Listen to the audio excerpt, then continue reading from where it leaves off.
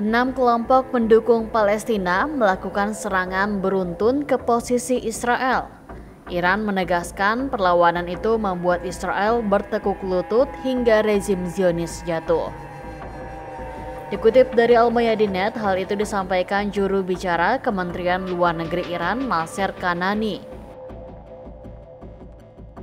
Kanani mengutuk kurangnya respon dan tindakan dari organisasi internasional atas kekejaman Israel di Gaza.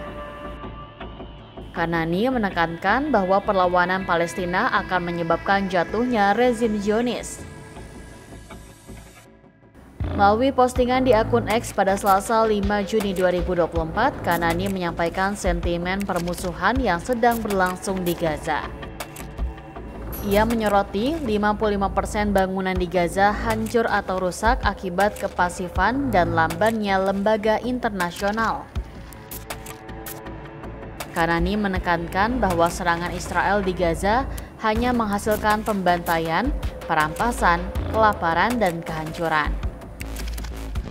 Meski begitu, ia menyebut Israel dibuat bertekuk lutut atas pengeroyokan yang dilakukan oleh perlawanan Palestina. Hal ini senada disampaikan oleh Jenderal Cadangan Pasukan Pertahanan Israel, Yitzhak Brik. Ia mengatakan Israel dikeroyok oleh militan di Lebanon, Irak, dan Yaman.